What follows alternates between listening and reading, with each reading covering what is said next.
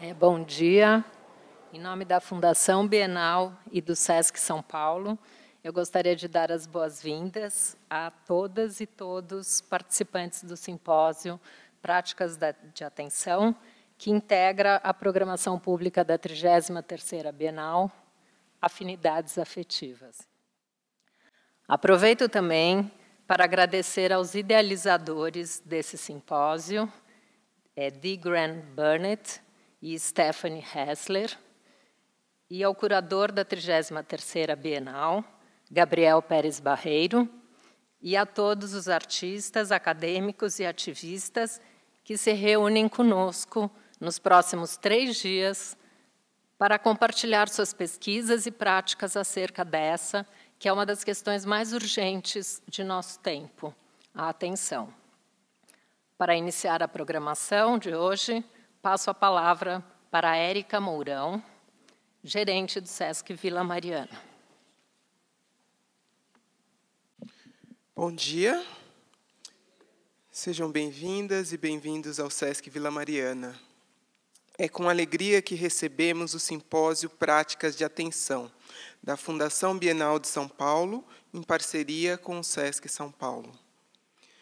Com sua temática central e necessária em nossa cultura, em nossa educação e em nossas vidas, o simpósio também é um momento para celebrar a parceria entre as instituições que teve início em 2010, por ocasião da realização da 29ª Bienal de São Paulo. Naquele ano, foi criado um polo de cultura de São Paulo, que tinha como objetivo fortalecer e expandir as ações da Bienal por meio de patrocínios, parcerias e apoios de outras instituições culturais. Desde então, SESC e Bienal têm realizado conjuntamente uma série de ações, como coproduções, coprodução de obras, itinerâncias para unidades no interior do estado de São Paulo e de outros estados do Brasil, além da realização de seminários e simpósios vinculados à arte contemporânea e de um conjunto de atividades educativas variadas. Todas as ações realizadas conjuntamente pelas duas instituições têm como principal objetivo contribuir para a ampliação do acesso à produção artística contemporânea e a propostas educacionais vinculadas às artes.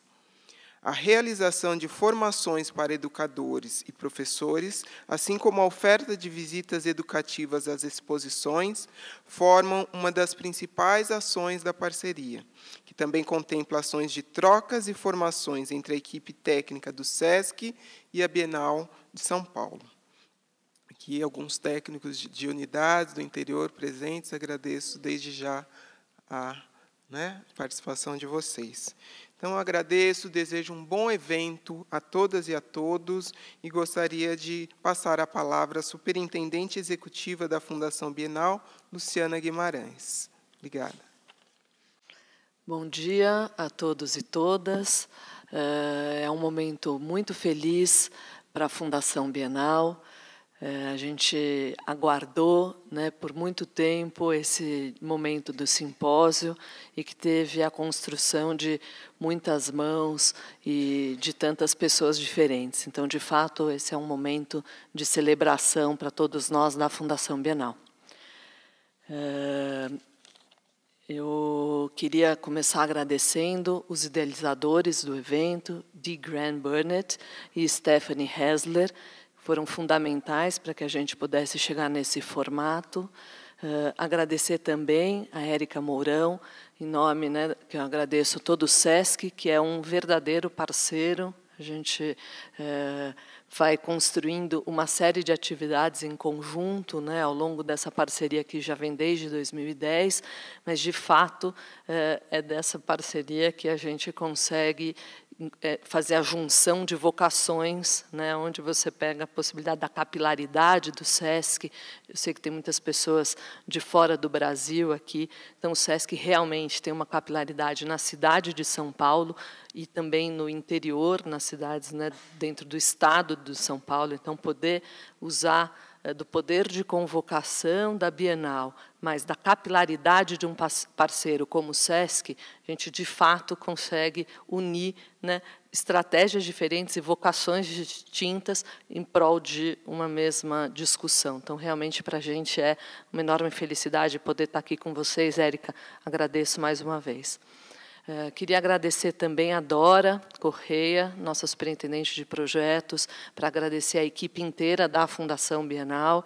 É, é incrível a capacidade de trabalho e a quantidade de coisas com as quais a gente se relaciona. E se tem alguém que, é, de alguma maneira, simboliza isso muito bem, é a Dora. Dora, obrigada. Sempre que tem alguma coisa nas suas mãos, eu sei que vai dar certo.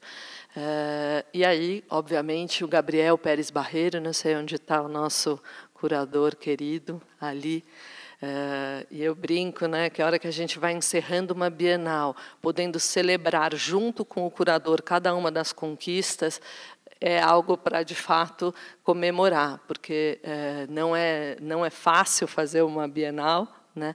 E a gente está a cada momento celebrando as conquistas e isso tem muito da personalidade e da capacidade de trabalho que o Gabriel eh, conduziu nesse processo. Obrigada, Gabriel, por a gente poder chegar nesse momento de uma maneira tão feliz e, e, e celebrando cada uma das nossas conquistas. Eh, em relação ao tema né, do simpósio, eh, esse tema da atenção, foi algo trazido pelo Gabriel absolutamente acolhido pela Fundação Bienal. E acho que porque, de fato, ele é um tema muito pertinente né, é, na nossa sociedade contemporânea.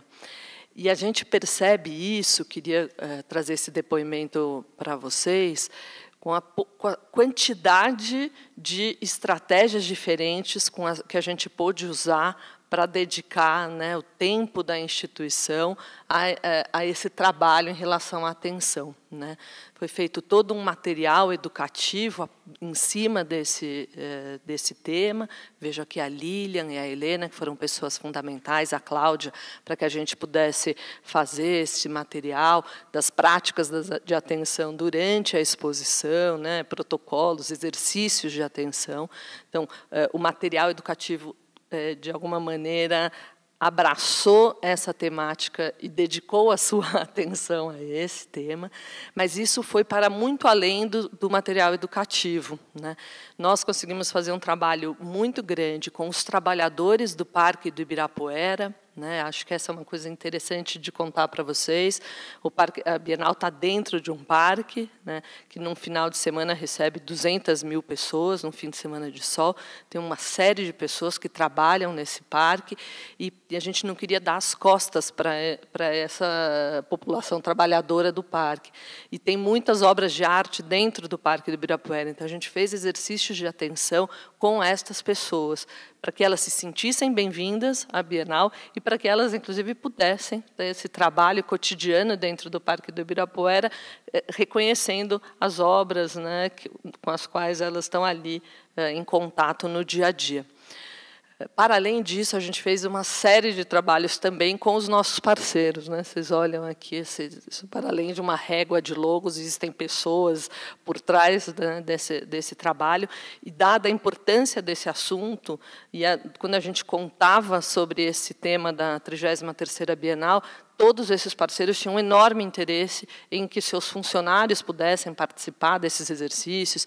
Então, foi, de fato, é, um desses assuntos que a gente pôde ir identificando ao longo da Bienal a enorme pertinência, a enorme potência e, quando a gente fazia o trabalho, os exercícios, o resultado real que isso trazia. Então, é, para muito além de um discurso, ele foi né, um assunto que esteve na prática cotidiana das mais diferentes formas que a Fundação Bienal se relaciona com diferentes públicos.